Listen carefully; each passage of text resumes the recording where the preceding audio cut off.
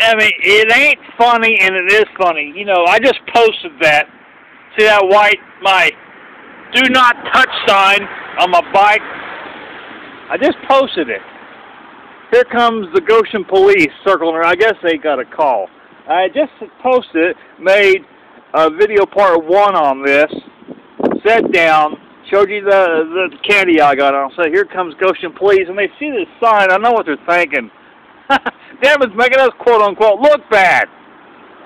Well, it's not their fault. I mean, they do come through here routinely, the police. It just uh, I had you know that you know just a bunch of teenagers working fast. But uh, you know, uh, I've every right to put that sign there. You know, if they want to do anything, we'll take it to court. But uh, I can't help it. I mean, hell, I, you know, had a little vandalism a year ago. But uh, it, you know, I, I, they see that sign to police. I know what they're thinking. Man, we better, you know, get on our, uh, we better get on the ball. Well, you know, they can there's, you know, they can only do so much for so many cruisers, and and I think they patrol pretty good. But it tickled me. It just had set down. Here comes the Goshen police. They had a call somewhere. But they see a pretty white bright "Do Not Touch" sign on my bike.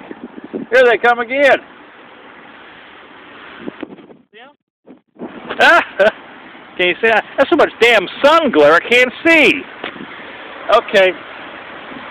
Uh, but the I, I haven't had that sign there, people, four or five minutes. The do not touch sign on my bike because of a year ago vandalism. Here I got two policemen already. okay, I don't know if that wind's killing me or not. Later.